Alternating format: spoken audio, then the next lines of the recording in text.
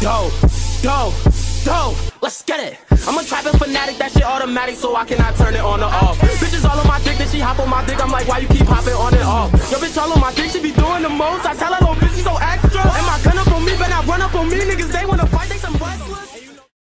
What would happen if Naruto had the blood of both dominant clans within his series, the Senju and the Uchiha, with these powerful bloodlines running through his body?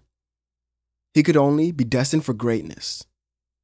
Yo, it's Zero, and this is what if Naruto was half Senju and half Uchiha. This is more of a long series, so I hope you guys enjoy it in each part and help me add on to it. Now, with that out of the way, let's begin our story. I know it may sound cliche, but this video was done so many times by so many different people, and it was all done great in my opinion by all the people that I've watched do it. So of course I'll have to make mine a little more interesting when taking the story further, but it may be the same for the beginning, so just bear with me. With Naruto here being the descendant of Madara and Hashirama's families. And there's two ways we could take the story. With one, Minato and Kushina being alive, and one where they remain dead. And I actually want them to remain dead here, because I don't want Minato to be able to end the story too quickly, because he'd still be in his prime. What actually happens after Naruto's birth is Hiruzen raises him, and not like in canon. No, you can't even call that raising him. This Naruto is actually taken care of and even trained, as he's seen as the next, well, the next coming of the White Fang, due to his extraordinary genetics and abilities. This was the first time that we'd actually see a full Senju and Uchiha have a child. So of course the Uchiha wanted to raise him, but Fugaku knew there was no chance with him being the Nine Tails Jinchuriki. So, all the actions of Danzo and the clan still play out the same, and when that does happen, well, most of the clan dies, except for two members, that of course being Naruto and Sasuke. I'm just trying to make sure that I don't skip over anything that's really important to go over within our story. Now, with Naruto growing up, and Hiruzen still being an active Kage, he would have Jiraiya and Tsunade return to the village, as a major change happens because of this. And this is because of Naruto's bloodline, with Granny Tsunade actually being his real grandmother here. And I think this gives her a reason to actually come back and become the fifth Hokage much earlier in the story, almost right after the clan's massacre, a couple months. Now, with her in charge, Hiruzen and Jiraiya can focus on the training of Naruto for the next five years. And I do think this Naruto, due to the stress and expectations that he has to live up to, and the harsh training that he would receive, would unlock his one and then two Tomoe Sharingan throughout his childhood. This Naruto also has access to all five chakra natures that are natural, and because of his DNA, he can automatically suppress the Nine Tails thanks to his Senju and Uchiha blood. With that, he's able to become even stronger, as this Naruto doesn't attend the academy at all, as he's trained by Jiraiya, Hiruzen, and Tsunade every day without fail. Naruto also learns the Rasengan when he is of age to do so, but he's restricted from using it unless he's about to die or he becomes a Chunin.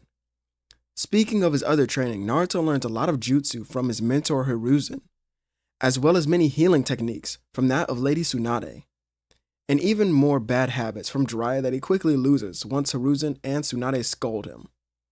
Naruto, though, was still hated throughout the village. But he was hated even more because of the blood that was running within his body. And even more, that it was mixed with that of the great Senju bloodline. This Naruto isn't really cocky like you would imagine, because of his grandmother being the main one to raise him. He's actually quite shy, the opposite of her. And his personality is very calm and collected. But when he fights, he does become a different person entirely. The night of the graduation soon arrives, and someone does try to steal the scroll of sealing. Although when they walk into the office, they find Naruto sleeping on the desk. This brat again. As he takes a step towards Naruto, he pulls out his blade to kill him. Mizuki is then stabbed by three different Narutos, causing him to fall to his knees bleeding. It's then revealed that he was placed in a genjutsu, as the real Naruto was sitting down while reading the scroll, going through some of its forbidden jutsu. Tsunade then walked in shortly after, asking if he was ready to go, but then seeing the shinobi, completely in shock. Naruto turns him in and then heads home. And this is how we'll work around him still being on Team 7. As this Team 7 will be the same, and since Naruto has no record at the academy, he's basically looked at as a person with the lowest score, meaning that he could be put with the Rookie of the Year, Sasuke Uchiha, and with Sakura Haruno. Speaking of Sasuke, this version of him remains the same, and he's a little more empathetic to Naruto because he's also an Uchiha, but he's hated for it, so he feels even worse for Naruto. Team 7 is then seen sitting in the room as no one speaks except for Sakura, as both of her teammates stayed to themselves and were more quiet. Kakashi walks in late, noticing that each one of them is a little different. He then takes them to the roof, where they have their iconic talk about their goals and ideals, leading to the bell test, which would happen the next morning. Naruto and Sasuke both sit in silence but come up with a strategy to take him down and take him head on with everything that they have. Naruto tells Sasuke to lead and he'll back him up, and the Uchiha prodigy would agree, of course, since at this point he'd believe that he's much stronger than Naruto. When attacking their sensei, Kakashi blocks and evades most of their strikes, until clones of Naruto begin to cover Sasuke's weak points. The young Uchihas then work together well, especially since Naruto is able to read most of Sasuke's movements and cover them. Still, this wouldn't be enough to take down a Jonin, especially Kakashi Hatake. Jiraiya and Hiruzen watched on from a distance at their final student, with Hiruzen stating that the boy is quite shy even when fighting. As if he wanted to, he could have taken the lead. But this is when they see it. Each one of Naruto's clones surrounding Kakashi then uses a different nature transformation. Their sensei then has to use a substitution and captures Naruto, but this one was of course a clone. And from the side, Sakura jumped out to grab the bells, with Sasuke aiming to stab him. He then uses lightning release to paralyze both of them, and Naruto then jumps in the way defending them. Kakashi would state that the test is now over since they worked together really well, but Naruto wasn't done. He pulls out a kunai and gets ready to fight, but then he calms himself down, remembering that all they needed to do for now was to pass, as he must become a Jonin, so he has to become a Chunin first. And even before that, he has to be accepted as a Genin before his sensei. So, naturally, he allows it. Team 7 now, after being healed by Naruto, begins their missions around the leaf, and Naruto doesn't complain at all. He's become a Genin, and he knows the work that he needs to do to become a Chunin, as it won't be easy, especially for him, as he knows a bunch of people in the leaf are already doubting him.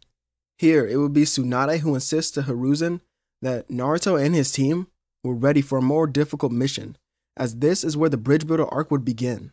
Tazuna then makes his comments to them about their strength, but Tsunade vouches for her grandson, saying that this is their best Genin team available as it also has a medic, that being Naruto. This calms them down a little, but then they set out, where they would first be attacked by the Demon Mist brothers. They first kill Kakashi, leading to Naruto and Sasuke both taking on their own opponent. This battle is short lived though, as it isn't even a contest due to their pure strength and teamwork. Sasuke knocks out his opponent, while Naruto killed off his own. Then he could be seen walking over to do the same to the other brother, but Kakashi reappears stopping him. Let's do an interrogation first. Kakashi lifts his headband, showing off his Sharingan, as, when he wakes up, he gets the info that he wants due to the small genjutsu he was placed in. Now, with Tazuna's true motives being revealed, the team has to make their decision, and they choose to keep going especially Naruto. Once entering the Land of Waves, Team 7 is again confronted by another rogue shinobi, this time with it being Zabuza of the Mist. He begins his battle with Kakashi, leading him to being trapped inside the water prison jutsu.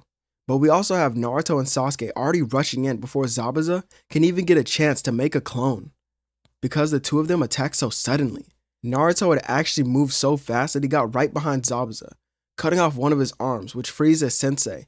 And this puts Team 7 at a huge advantage, meaning that Haku would have to jump in early, not only to save Zabuza, but to mask their immediate escape with ice release. With this, Naruto wonders what they should do, but Kakashi falls to one knee, being caught by Sasuke. This is when Naruto takes the lead in the mission, following Tazuna to his home, where he could then heal Kakashi. After seeing his healing firsthand, Tazuna's expression would change, realizing that this brat could actually be their savior. As Naruto wasn't even a brat, he just called him that. Naruto then is tasked with going throughout the land of waves to heal everyone who is already injured. Naruto had agreed as this was a secret mission given to him by Tsunade in the first place, as he's on a road to becoming a Jonin. But he has many things that he must do, and this is one of the checkboxes. Naruto agreed, and he headed out using the multi shadow clone jutsu to send out a bunch of clones, as they could do this. However, by the time he was done, he was actually completely exhausted and decided to rest. This actually led to Naruto falling asleep for a day while Team 7 trained in the forest to learn how to walk on trees and on water. But Naruto would already know this, so he wouldn't be missing anything important. While asleep, Naruto was having a dream where he could see something strange. It was a dark forest surrounding him, and then the branches began to manifest around his body, holding him still to where he couldn't move. They then began strangling Naruto, as he would instantly wake up in a cold sweat, hearing the screams of Tazuna's family. He then runs out to see the younger mother and son being attacked. Naruto then takes down the two bandits with clones and heads out of the house. However, this is where Gato's original plan was completely changed, as he had his men rampage the land of waves, while Haku and Zabuza head to the bridge. Naruto would have to send out hundreds of clones throughout the small town to protect the people and their homes. This all leads to him making it to the bridge very late, to where Sasuke was already pretty injured and Kakashi was having trouble dealing with Haku's ice clone and Zabuza, who had an ice arm instead. Naruto would actually run right by him, heading to Sasuke, who was just barely standing. Just in time, he makes it to block some of the needles with lightning release. Naruto then looks around using a Sharingan to see through it, but he can't. There are too many mirrors, which causes him to hold out one hand, thinking about using the Rasengan. As he begins to form it, he stops. Instead, he just makes a clone that heals Sasuke as fast as possible while he protects them. Now the duo could fight again, but with the mirrors being so unpredictable, Haku was a dangerous threat here. And with the clone of Haku actually heading towards Tazuna and Sakura, Naruto needed to act quickly, and so did Kakashi. But what could he do? Time was running out, and he needed to do something quickly. This caused immense stress on Naruto because the thought of his friends dying because he isn't strong enough causes another awakening within him. Naruto actually yells out as two awakenings would happen, stretching out his hands, making wood release appear, stabbing through the real Haku and every one of the mirrors around him, destroying the other clone, giving Kakashi the opportunity to also kill Zabuza, as we would look into Naruto's eyes to also see the three Tomoe Sharingan, with him breathing heavily. Naruto then makes the wood release go away as the branches kind of disappear in a way. This is also when Gato and the rest of his men would arrive, but Naruto wasn't having any of it. Still in a blind and almost rage like state, he holds out his hands towards them, making trees burst from the ground and slam them off the bridge into the water. This is when he shoots a lightning arrow to electrocute them, finishing off the job. Now the bridge could be finished, and with Naruto having the multi shadow clone jutsu and wood release here, it would happen even faster, which would lead to our team then heading back to the Leaf Village, where they would discover that many shinobi from other villages were here as well. As Team 7 soon gets word of the Chunin exams from Lady Tsunade. The team walks through the village after signing up for the Chunin exams and they run into Konohamaru, who I haven't talked much about, but him and Naruto are like brothers here. So when seeing him be grabbed by Kankuro, Naruto appears next to him, kicking him away. Kankuro then gets ready for a fight, and so does Temari. But Gaara then stops them. He walks towards Naruto, holding his hand to his chest. With this hand, I could kill you now. Naruto then shows his eyes to him. But with these eyes, you won't even get a chance. Gaara then wakes up from the genjutsu, turning around to see only Kankuro and Temari standing there. He twists and turns, wondering where he went, but then he scoffs, realizing that he was put into a genjutsu, and soon the exams will begin. On the first day of the test, Team 7 immediately finds the testing room and doesn't run into Rock Lee at all. As during the first test, Naruto and Sasuke both use their Kekkei Genkai to pass. The main portion of the test is then finally here, as the forest of death and the preliminary matches is what we all truly care about. As now, Anko appears, greeting all the Genin and taking them to the forest of death, where she actually chooses Kiba to scare since Naruto is paying attention. But both Naruto and Sasuke get an odd feeling from a certain shinobi who was also in attendance. And once they were given their scroll, they headed into the Forest of Death where Naruto decided to send out clones that track down different teams. Throughout the wait time, most of the clones find the teams that have the same scroll as them, but then they were attacked by a grass team. Naruto and Sasuke would cover Sakura before hiding behind a large tree. Sakura then asked if they were surrounded, and Naruto nodded. It'll be okay. I don't think they realize that this is truly my element. Naruto then uses Wood Release to grab each of the grass shinobi and capture them. Sasuke then calls that ability super useful, as they would then head towards them, grabbing the scroll, realizing it was the one that they needed, as Sakura stated that they could be the first ones to the tower. Then they begin to head out of the forest of death, but Naruto could see a large snake chasing after them, so he tells Sasuke to turn around, and the two would sink a fireball jutsu to burn down trees to make it fall in the snake's path, actually crushing it. But as they land on another branch, they see Sakura being held by her throat as she struggles to then breathe, but smiles. The pale woman is shocked as the girl turns into cherry blossoms that were left in her place. Then from the side, Sakura punches her into a tree, which actually cracks it. This is where it's revealed that Tsunade also took her on as another student. And I wanted to do this because I wanted Sakura to be more important earlier on in the story. As Naruto and Sasuke both activate their Sharingan and now prepare to take on this new foe.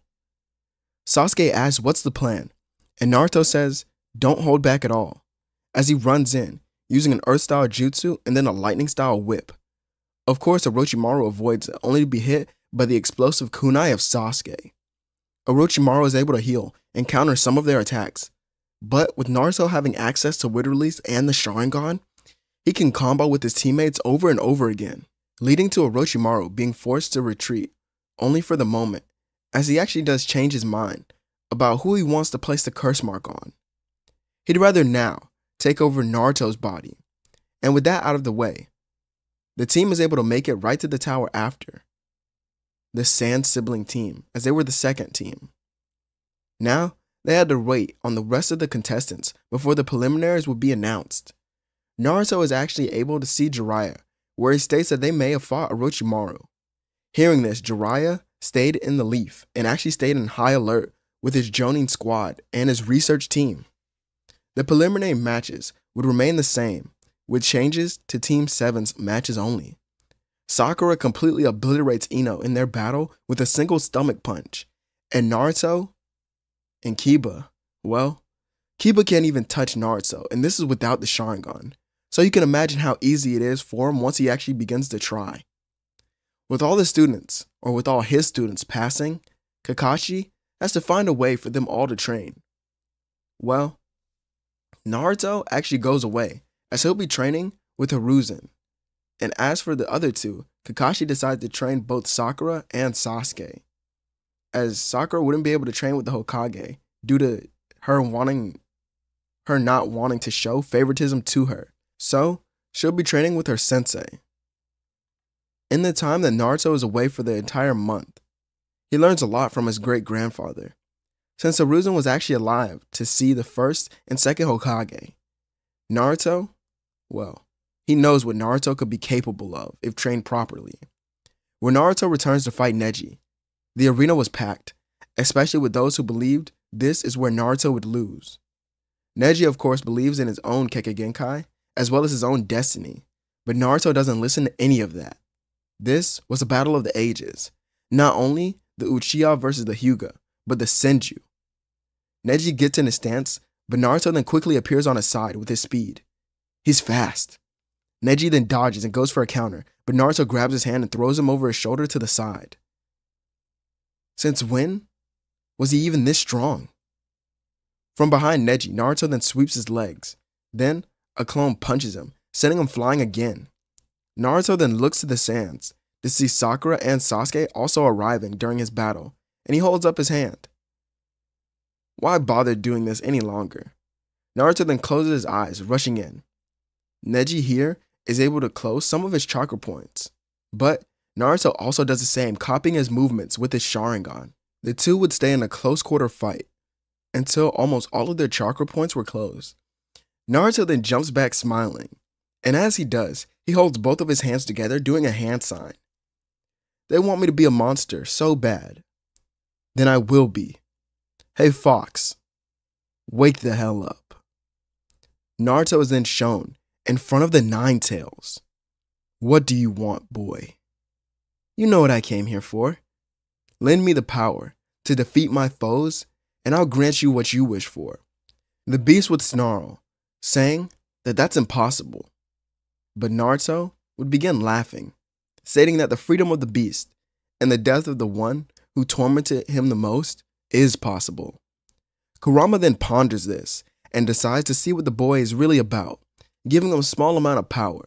As Naruto smiles and the small orange chakra forms around his body, as the people would then begin to stand in shock and horror. Hiruzen, while watching, scoffs. That brat is just as cocky as his mentor. Jiraiya then smiles, asking how this was possible, and Hiruzen recalls their training, remembering at the end of one of their days, he was able to tap into that chakra that was not his own. This was strange, as it had never happened before. It's almost as if the beast within Naruto had something to prove to the world through him. With this boost in power, Naruto rushes back in to attack Neji, completely outclassing him in every strike, eventually knocking him out with a kick to the neck. This strike sent him into the wall where he would be unconscious. The villagers, instead of applauding, sit in fear. Not only was the boy able to control the Sharingan, but also the power of the Nine Tails. The entire arena was silent, as this shocked Naruto's teammates who didn't understand. With Naruto seeing their reaction, he looked to Hiruzen and then to Tsunade. Their faces were that of sadness for the boy. Naruto then scoffed, saying, Don't feel bad for me. This is the path that I have chosen. A lonely road it will be, but I'm ready. With Sasuke being on time, he could fight Gaara here, and this is where the attack on Konoha would happen. Sasuke doesn't care to chase Gaara, instead he regroups with Sakura and Naruto. They ask Kakashi what they should do, but their sensei sends them into the village to help with the protection of the Leaf's people. This is where we see the duo of Might Guy and Kakashi head towards Gaara to take him down. With Naruto and his team being in the heart of the village, he sees the Battle of the Sannin, with Jiraiya and Hiruzen being there to back up Tsunade. Naruto sends clones throughout the village, and he's then ambushed by some grass shinobi. They try to capture Naruto, but of course Team 7 is able to defend their teammate.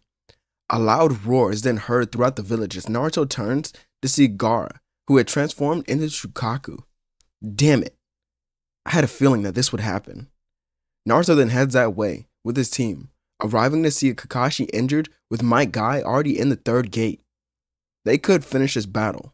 So, Naruto heals them, so they could do so. Naruto then shows off the real fruits of his training, summoning the legendary wood golem of the first Hokage. The three then stand on it as it begins to run at Shukaku, and Naruto dodges the sand and then summons a wooden dragon that wraps around the One Tails. This gives Kakashi and Might Guy the chance to reach Gaara and finish off this crazy battle. With the defeat of Shukaku and the death of Orochimaru, the Konoha Crush then comes to an end. Once everything truly calms down, the Leaf Village, well, those who were Genin, who were important to the battle were promoted to Chunin. Now, we have to decide where to take things from here. The villagers begin to believe that Naruto shouldn't become a Chunin due to Might Guy and Kakashi being the ones to defeat Shukaku. They also don't like the fact that the 5th Hokage allows Naruto to do as he pleases within the village without having someone watch him. Danzo was able to continue manipulating the villagers to directly hate Naruto, which affects everything. On a later date, Naruto is summoned to the office of Tsunade, but before she could even speak, he had walked in with a dark outfit, a hood on his head, and a bag on his back. Since I'm already a Chunin, I'll be heading out to finish what was started here. She asked what he meant, and Naruto stated he plans to hunt down Orochimaru's apprentice in his lab. He wants there to be no chance of his return at all. She wonders if this will be good, so she sends Jiraiya with Naruto, and the two depart the leaf days later. But the clone that was with Jiraiya then poofs into smoke, as we see the real Naruto standing upon a cliff. Sorry, Sensei, but this is where our paths become distant. Naruto then looks at the horizon, asking the fox if he was ready for what's ahead, as the beast snarls, telling Naruto to hurry up before someone catches up to him. Naruto begins to chuckle, sliding down the hill into the forest that was below to begin his own journey. During the time skip, we get to watch Naruto grow up into his own person through his journey. It's a long and tough road laid ahead of our protagonist, but he gets through it day by day without fail. As during the time skip, he masters a multitude of jutsu and abilities and completes missions that he sets out for himself. As while this went on, the Leaf was sort of in a panic as they had just learned of the Akatsuki and their goal, but had no idea where their own Jinchuriki was at. As for Naruto, he was seen in a black hood years later, walking into the village. The guards at the gate would try to stop him, but he vanishes, appearing on top of the Hokage stone faces. He overlooks his home while smiling. So much hasn't changed after all. Naruto jumps down, heading to the Hokage building, and while Tsunade was doing paperwork, on Team 7's last mission, they see him leaning on the window outside. Naruto smiles, opening it and hugging Tsunade, who throws him back out of the window into the streets below. Naruto reappears in the room, telling her that that was mean, but she hits him on the head, scolding him for his actions, as he's had no communication with the Leaf in these last couple of years. He would then laugh it off and throw something to her desk. It's a ripped Akatsuki robe. Wait, you encountered them? Yeah, and I dealt with them. She nods slowly, asking Naruto how strong does he think he's gotten since being away, because Sasuke has become one of their top jonin under Kakashi. Naruto looks to everyone in the room and sits down. I could beat all of you without fail. Sasuke asked Naruto to test his theory, but he exploded in Kyuubi chakra, as well as the Sharingan appearing. Naruto then calms down and then moves his headband, showing Tsunade that he mastered the hundred seals as well. Jiraiya says that this is impressive, but he's gone on to master Sage Mode in Naruto's absence. So, he believes he can still stop Naruto if need be. Naruto then explains on his journey how he's come across many different places, and a distant place that had called to him. This is also where he mastered a different form of Sage Mode. Naruto then stands up, saying that this threat can be dealt with easily if they act quickly, but that means alerting the other villagers. Naruto states that he's heading to the sand first to let Gaara know of this threat. Tsunade sends only Naruto and Temari, who was already in the village. As now, once they make it to the sand, they are able to tell Gaara of the threat, and he understands as a Jinchuriki and a Kage that he's a major target. While thinking of what they should do and what they should do next, they have to make a plan for defense. But it was already too late, as days later, Deidara and Sasori invaded the village. When seeing and hearing the explosions, Naruto and Gaara act quickly. Gaara covers the entire village in sand making a sand like dome, while Naruto reinforced it with wood release on top of it. The two would smile, knowing that this, well, this would protect them for a while, and it allowed the Sand Shinobi to evacuate their citizens to a safer location. Deidara and Sasori sat on top of the dome wondering how strong it is and when they could break it. And where did this tree come from? There's no water here. Suddenly, one of the branches then stabs right through his heart. Deidara coughs up blood, looking behind him to see a Naruto wood release clone. God damn it. Deidara then leaves it all to Sasori, performing one of his biggest explosions that actually cracks the sand dome a lot and opens up a space, but is quickly reinforced by Naruto's wood release. Naruto would then appear right behind Sasori, stabbing him as well with his hand and then wood release explodes, tearing his body apart. This is when the other puppets would appear. So, this is how it's gonna be. Well then, let's get started. All you get to see is Naruto's pupils go into a slit, and then the next thing that he's well, the next thing that Gaara would see, once letting the dome down, is all the dead bodies of the puppets falling down, and Deidara's body falling as well, or what was left of it. He thanks Naruto for protecting his home, and Naruto nods. With that, he decides to send a clone back to the Leaf and to every other village to warn them as he goes on his journey once again. You see, because Naruto was isolated due to Danzo's actions, he's become more of a solo shinobi who doesn't really trust those around him. Not yet, at least. Naruto's clones actually encounter Kisame and Itachi, well, their clones, who tell them where to meet up with Sasuke. And the two Akatsuki members that Naruto had dealt with during the time skip were Hidan and Kakuzu, so the Land of Fire was safe for now. Jiraiya still does leave in order to find out more about Pain, their leader. And with that, this is where Jiraiya would still lose his life. And I know that we all would want him to survive, but the shock of fighting six opponents, especially being caught by surprise and without one arm, would be too much for him. And with that, Naruto was away from the village and him, so he had no idea where he was. As the only thing he was worried about was the two tails Jinchuriki, because he had made it near the land of lightning.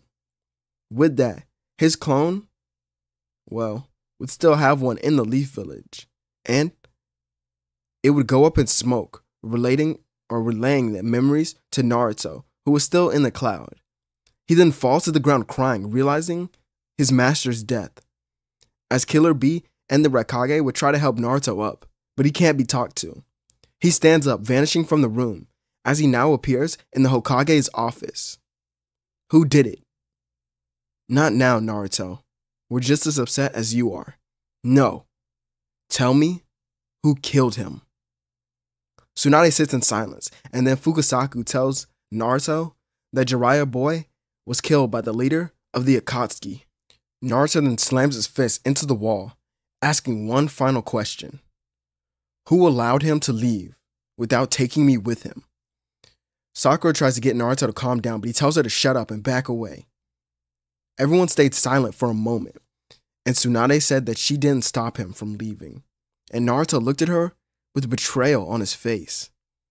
This is when Naruto leaves the room, going to the stone faces once again, as he sits on top of his father's head while crying. All the memories of Jiraiya flood his mind while looking out toward the horizon. Sadness. And then rage fills his body. This is where his own Mangekyo Sharingan would awaken. And with his genetics, it's sort of a pseudo EMS. It's obviously not the same, but he won't go blind or have immense strain when using it. With his pattern being, let's say, a swirl with black markings extended all the way out, kind of like the thumbnail.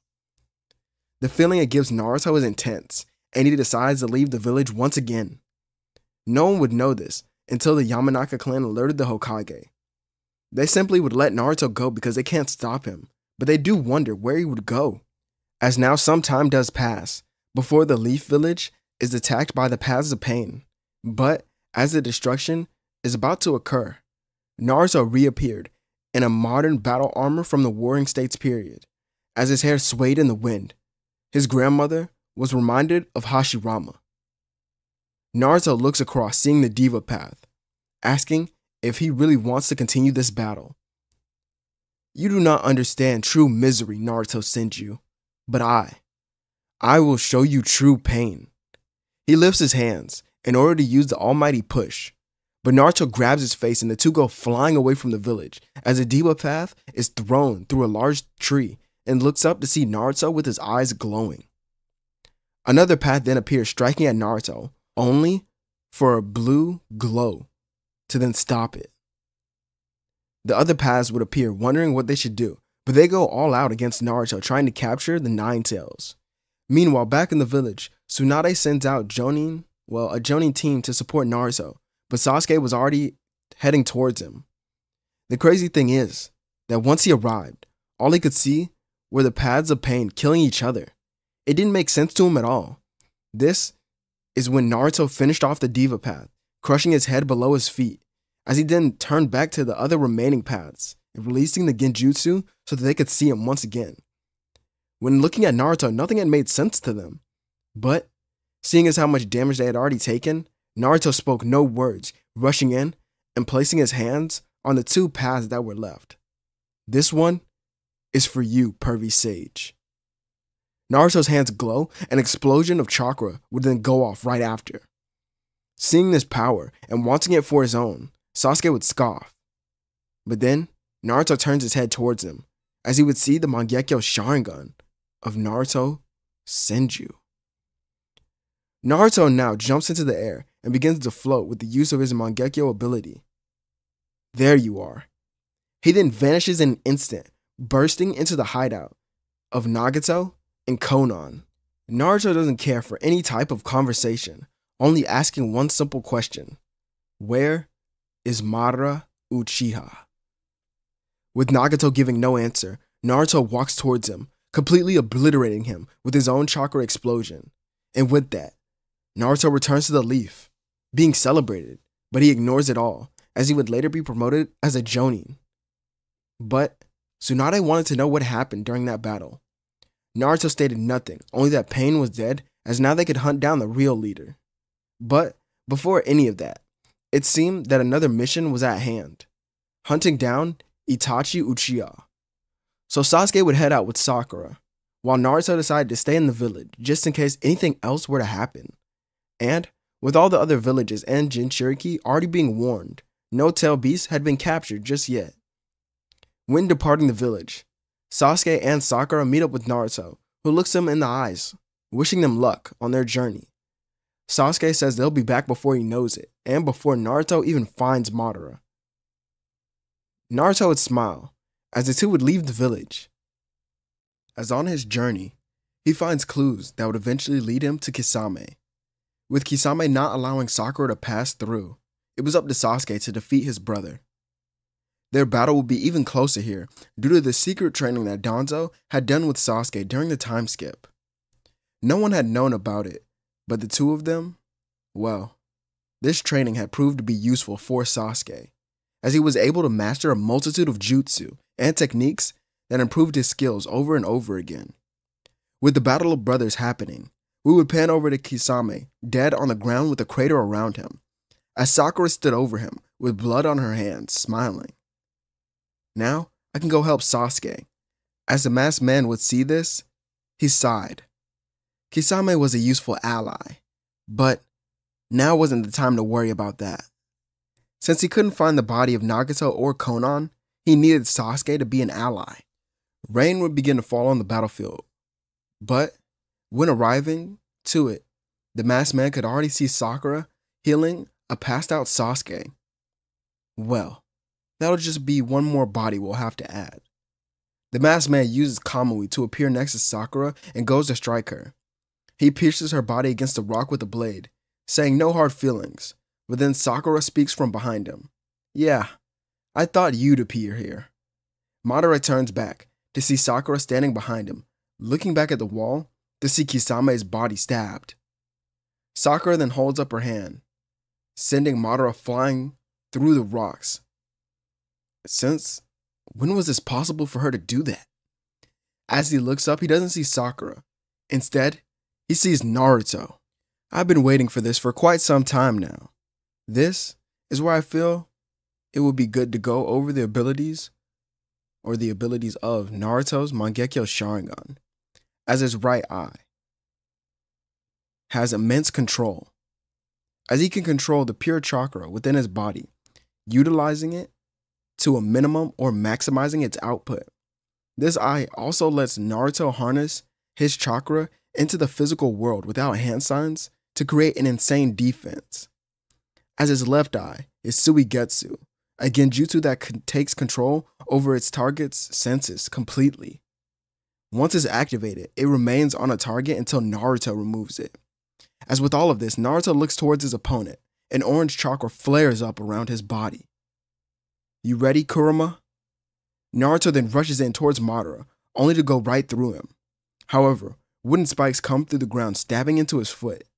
Madara then jumps to a tree branch, looking down at Naruto, who is gone, as now a hand was through his chest. Obito then retreats to the Kamui dimension and begins to think of a new plan. But this is when Naruto teleports in using the flying Raijin.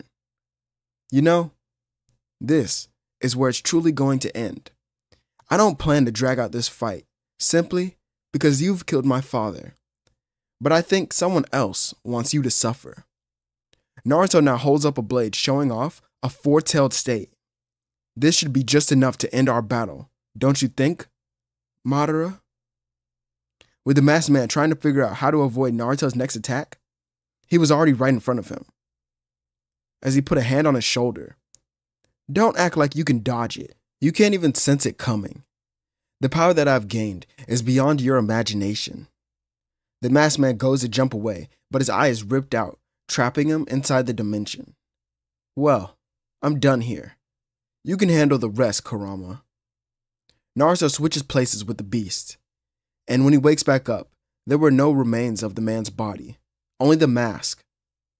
Naruto picks it up and teleports back to Sasuke, seeing him wake up to his brother just barely being alive. Naruto watches Itachi speak his final words to his younger brother, telling him of what Danzo had truly done and what truly happened within the village. With both of them hearing this, Sasuke would also unlock his Mangekyo Sharingan, turning around to see Naruto, asking what they should do. Sasuke was so confused in this moment, impressionable. Naruto only held out his hand, asking if Sasuke wished to change the world with him. He helped him up, and the two would take the body of Itachi back to the Leaf Village. Arriving weeks later at night, the two would sneak in, using Naruto's ability to coat themselves in chakra to block out the Yamanaka detection. Making it towards the Anbu headquarters, they snuck around, ambushing two guards and taking their outfits. Danzo sat in his office, wondering when Sasuke would return from his mission to get more training. If he can get that Uchiha under his control, he could kill the Hokage and take control of this village. A knock on the door is then heard as two Anbu walk into the room. Lord Danzo, we've spotted Sakura and Sasuke entering the village once again. Danzo nods, saying that they should go to greet Sasuke. But Danzo turns around, and then Naruto cuts off both of his arms. Sasuke would stab a kunai into Shisui's eye. This is where it ends, Danzo. No more of your treason. Sasuke looks down at him with his EMS. And, with the memories of his family flooding in, tears would fall from his eyes. All of it, all of it was taken away because of you. You don't deserve an easy death. Rotten hell. Amaterasu. Flame control. The black flames would appear burning Danzo until nothing was left of him. Now, with him dead, Naruto and Sasuke turned back to the base of the Anbu. And they would decide to kill every member in the facility.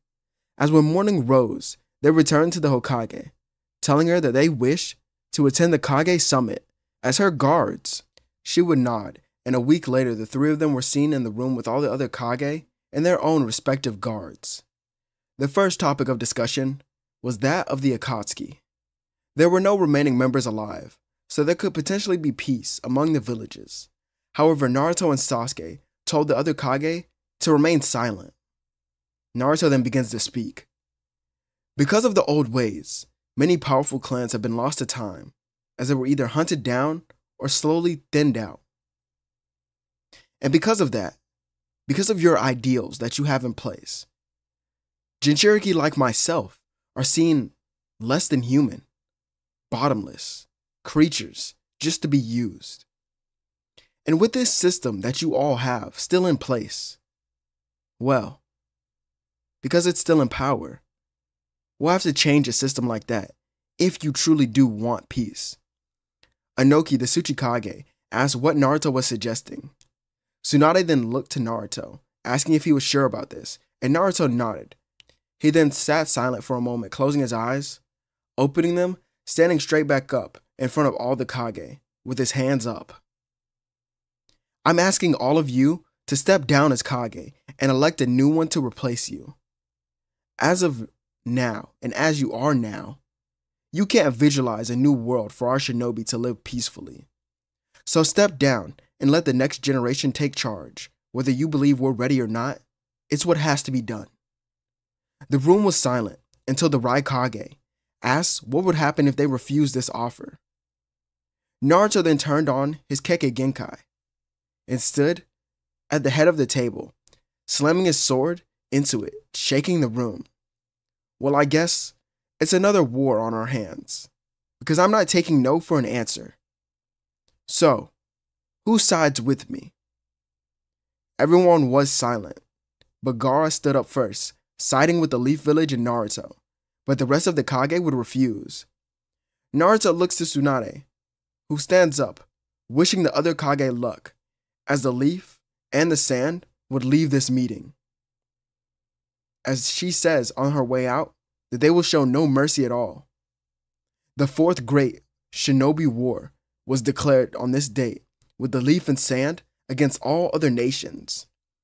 Naruto didn't care if this was the right path or not. All he cared about was creating a new world for the future generation. But he could tell that Tsunade was a soft leader. So through this war, he knew he had to prove himself if he wanted to become the sixth Hokage.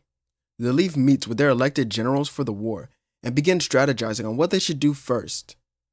With the head of the Nara clan, Shikaku, advising their forces to first cut off the stone from the cloud.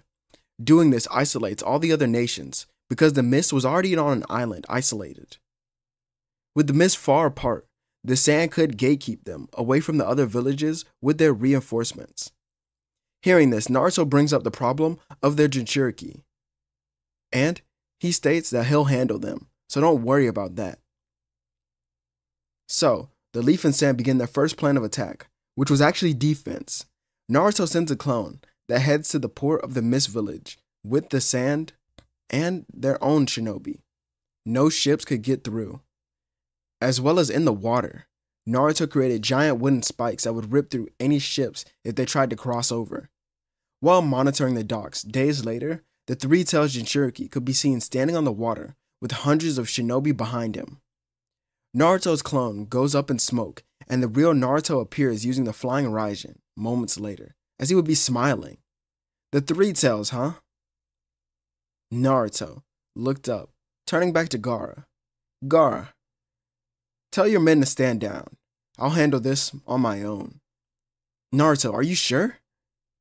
Naruto nods, pulling out his blade and activating his Sharingan. Yeah, it'll be just fine. Naruto steps onto the water, feeling a little amused. Kurama warns him of the Three Tails' ability to manipulate the ground. Well, the water itself, but Naruto laughs. I just need to get close to Yagura and it's over. Naruto lifts his head asking once more if they truly wish to do this, and the Mist Village doesn't have to suffer. Yagura doesn't, well, he does speak, pointing towards Naruto. And his fleet of shinobi move in towards the nine-tailed Jinchuriki. Naruto would sigh, rushing him with chakra flowing around his body. As the first kunai can't even make contact with them. He then blitzed the first wave of shinobi with his base speed alone, ripping through them as if they were actually there. This is when more of the Jonin in the battle would join in, contesting Naruto a little bit. With jutsu that would force him to avoid. Temari asked Gaara if he was sure about letting Naruto fight on his own, but Gaara shook his head. I guess we'd just be in his way. He has something up his sleeve. And the reason he's fighting like this is to minimize the deaths in our village. He's taking on the burden on himself Temari calls that pretty noble until turning to see Naruto's sadistic face while fighting. Or maybe he's just crazy. Yagura then lands a punch on Naruto that sends him flying down into the water. Naruto teleports back to the surface, cutting him across the back with his blade. Don't make this any harder than it needs to be.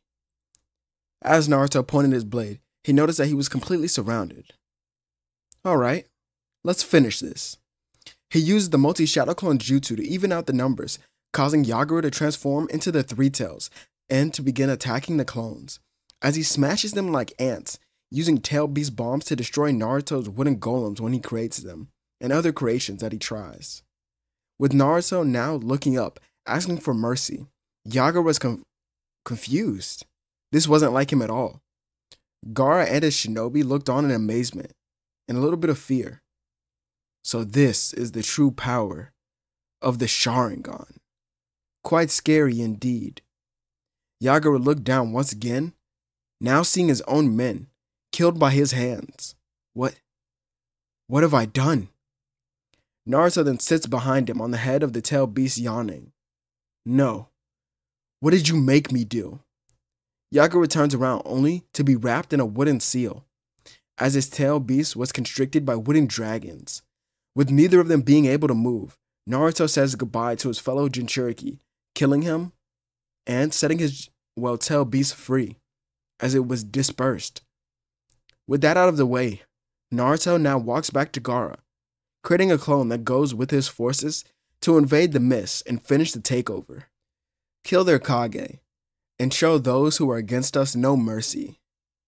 Meanwhile, this was going on, Killer Bee and the Raikage were trying to get a hold of the Mizukage, but there was no luck at all. This is when a strange voice was heard. It's too late. Naruto has already taken over the mist as of today. The white Zetsu appears, telling the Raikage that he stands no chance without some help. This is when a deal was made between the two. The Leaf would later get word that one of their teams had been ambushed and a prisoner was taken, with that being Yamato. At a meeting, Tsunade and her strategists were trying to figure out why he was taken, but then Sasuke entered as he throws some scrolls to the table, sighing. This is from me and Kakashi's Anbu squad. One of our members had been scouting the cloud, and this is the intel he gained before he died, revealing that the cloud was using Yamato to create a wooden army.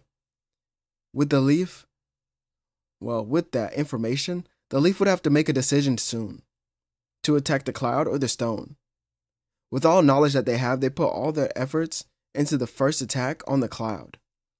Sasuke, Kakashi, and Might Guy will lead a separate attack on the stone. Naruto prepares himself, and he begins to head towards the cloud with his own militia, just to scout at first.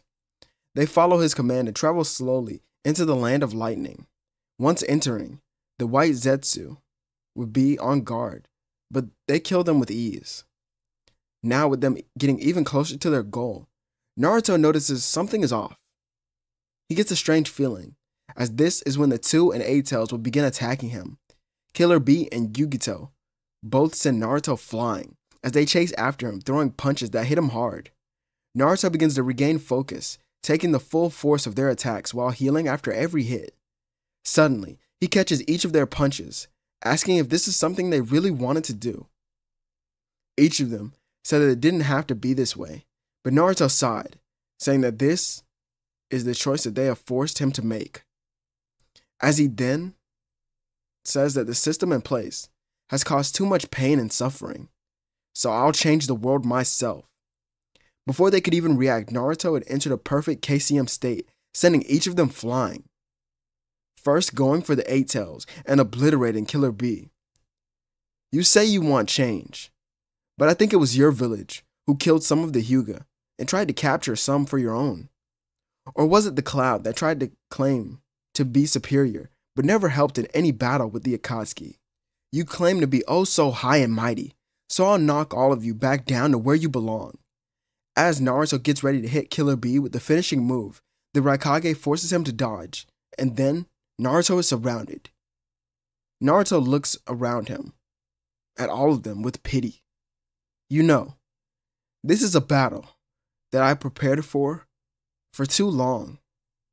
Actually, it seems that my whole life, every moment, every fight, every tear I've shed, and every friend I've lost has led to this battle, and I don't plan to lose it all.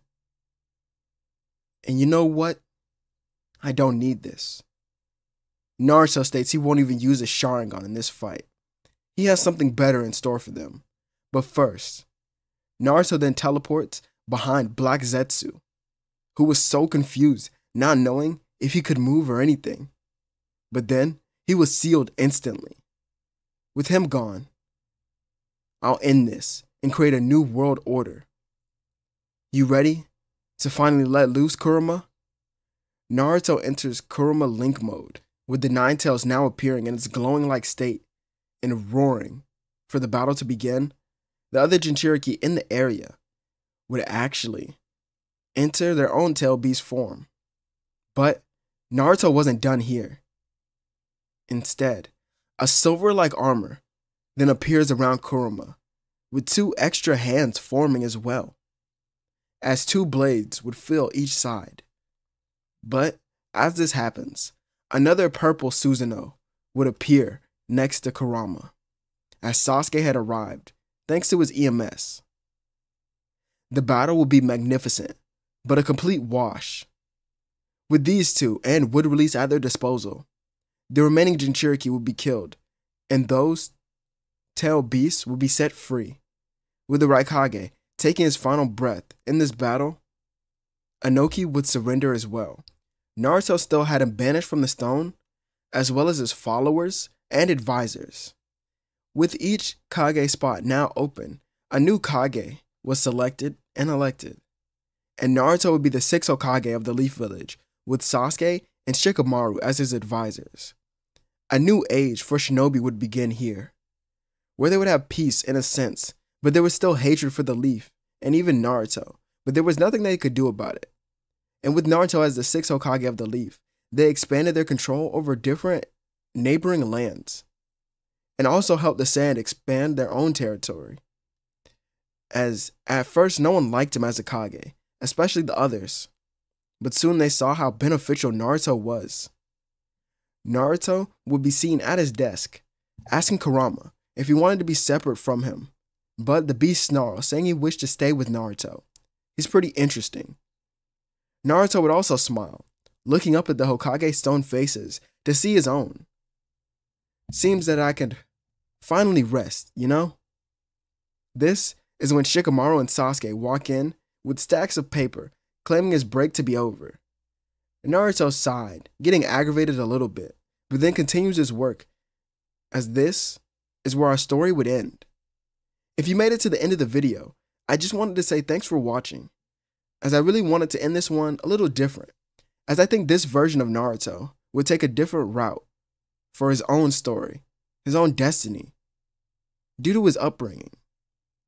As it's sort of a bittersweet ending, which I don't think I've ever done before. If you like this type of content and wish to see more stories just like this one, then like this video and consider subscribing to my channel, as this is Zero, and I'll catch you all on the next one.